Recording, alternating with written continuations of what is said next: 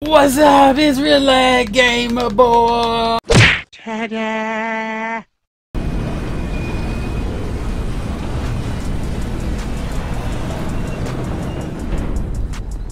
What's up? It's Real Lag Gamer. Y'all already know who it is. And yes, I got a bunker.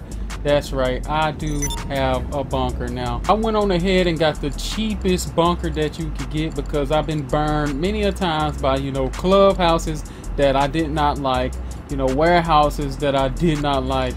So I got the cheapest one and it's really nothing wrong with that. So not only did I get the cheapest one, I did not get the shooting range yet and I did uh, opt for the regular transportation and I'm gonna tell you why. The caddies aren't that expensive but at the same time, if we simply reenact the cutscene, we will see why the cheaper one or the free one or whatever it costs, 85 grand or something like that, is better than the actual one that you pay more for. Now, I do not have a shooting range, but the shooting range will be right there, so just kind of use your imagination. Now,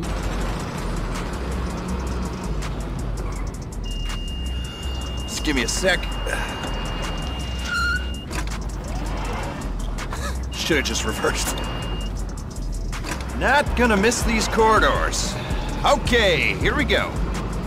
This thing is a lot easier since it's compact, a little more compact than the rest. This thing is easier to control and turn around inside of this building, you know what I'm saying, or inside of this bunker or whatever.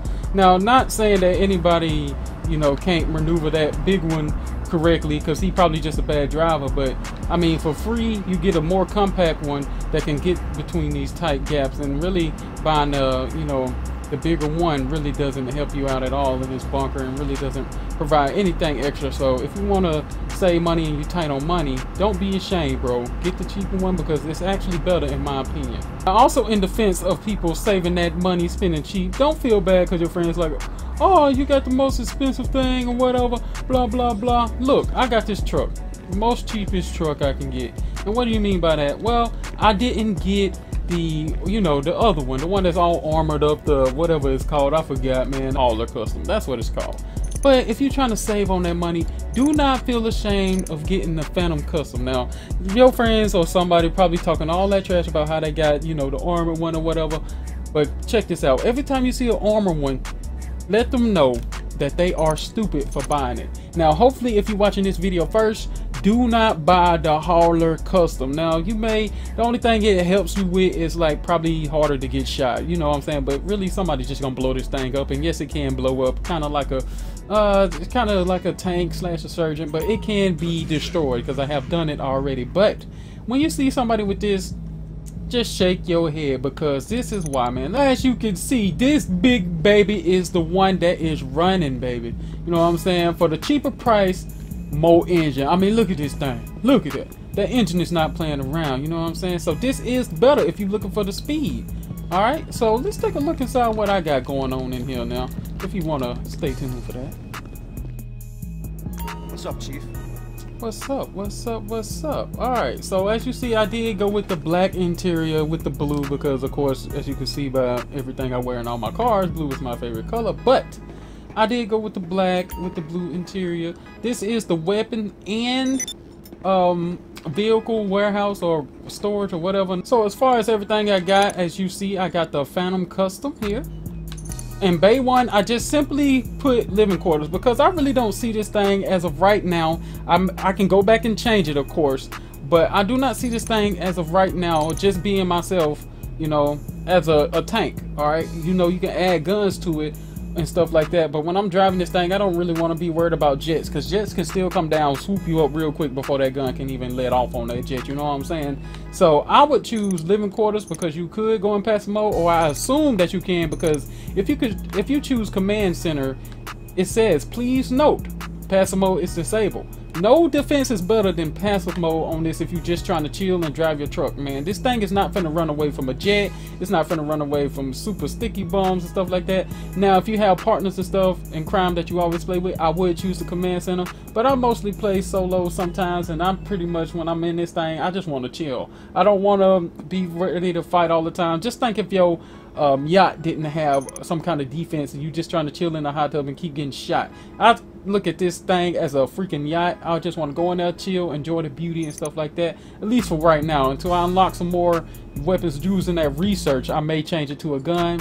Remember, you can go back and change that stuff. Second part I got going on is the weapon and vehicle workshop. Let's go ahead and get both of those in one it will take up bay three but you might well just have both of them in one so you can access the weapons and everything like that i just like it just being the one thing you know there's more room also it does cost more money for the um, black but i went with black and the blue if you like what's going on in my what you call now i think this was like 2.4 million or, or probably less than that really because i didn't pay extra for the truck so uh, probably 1.4 i don't know but yeah, that's what I got going on here if you want to go ahead and copy that or you like the way this stuff looks. But let's go ahead into the living quarters, man. So this is the living quarters with the blue. Of course, we got the screens here and the black, everything like that. I know a lot of people probably going with white, but I'm liking this. I'm liking this, you know a lot of people like black and red. I was almost about to do it. Black and red is a good combination, so keep that in mind, man. But I just like blue. I just wanted to see what the blue looks like. You know what I'm saying? So this this works out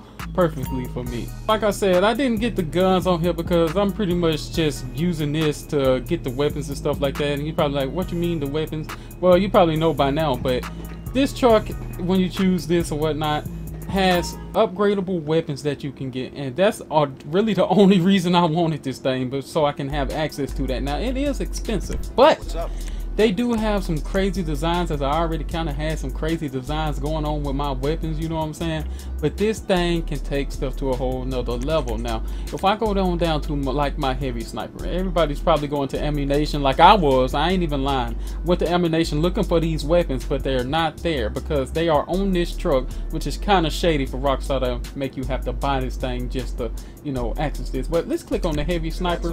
We're going to go ahead and upgrade it and see what happens. Now look at that. That's $165,000 just for an upgrade to a gun. But let's go ahead so there you go. It just kind of looked like it's shortened up and whatnot. And you probably don't like this design or you probably do like this design. But the main thing about it is you can add different kind of rounds, armor piercing, full metal jacket, explosive rounds is exactly what I'm going for.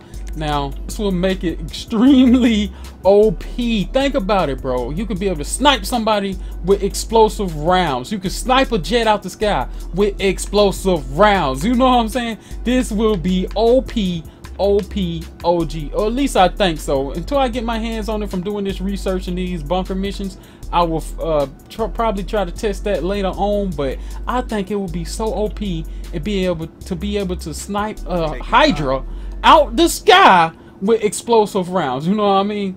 But it doesn't stop there. Do have them scopes that you was looking for. Now there is a night vision and a thermal scope that you can use.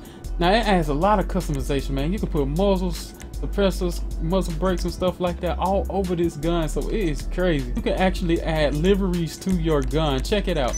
You can, it's pretty much like a lowrider's custom shop for your weapons. This is what this truck is, man. Ammo types cannot be carried over to stock weapons. So make sure you do not click on this button, all right? So you may go back to the original weapon and then have to pay another hundred and something thousand just to get it back custom. So be careful. Don't just go through clicking. I'm trying to save y'all some money. It's just a word from the rise, all right? Now, I also want to give one more warning to uh, everybody that's uh, trying to get this DLC, buying stuff, and so you won't make a mistake so far that I have made. You know what I'm saying? Like I said before, do not worry about buying the cheapest stuff, man. It, it's so far it seems to be working out all right. As you've seen, the truck, the cheapest truck, is actually the better truck, at least in some very limited testing. Also, do not change your freaking weapon, um, your combat MG. I changed that. Do not change it from extended mags to tracer round because when I changed it to tracer rounds, now keep in mind I had max ammo, all right? I had 9,000 something rounds. When I changed it to the tracer rounds, it changed to just 100 bullets. It didn't even carry over my my bullets. So be careful about that, man. If you got 9,000 rounds, you stay with max ammo.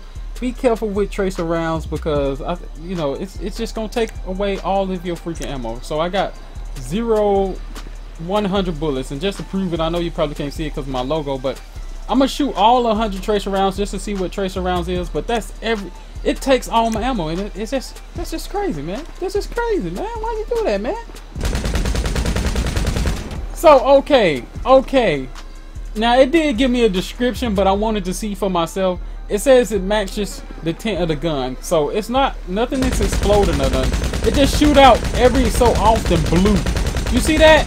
That's not worth losing your 9,000 rounds. You see that blue right there? That's not worth losing 9,000 rounds over, man. So be careful with the tracer rounds. It's not worth it. Save your money. Save your money, man. Now it does still kill. Got the new sniper.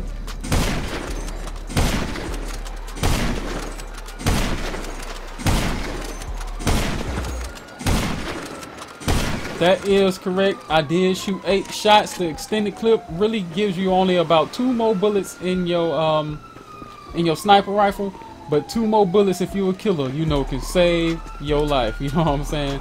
But yeah, man, be careful about this gun, the Combat MG or whatever Mark II. Do not change it to tracer rounds unless you just really don't have any ammo and you like what you've seen there. But if you got a lot of ammo, you're gonna end up with zero. Look, that's it. I lost all 9,000 rounds, so that's dirty, Rockstar. You should warn somebody on that little screen that you would lose all ammo if you do that. And it's been Real Lag Gamer. I hope y'all enjoyed the video. I'm out. Man. That.